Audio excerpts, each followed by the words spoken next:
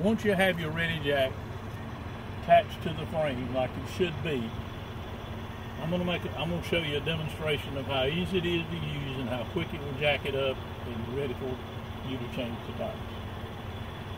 All you have to do is pull this pin, release the jack to the ground. Now I'm gonna pull forward and get it off the ground where the jack will, where we can change the tire.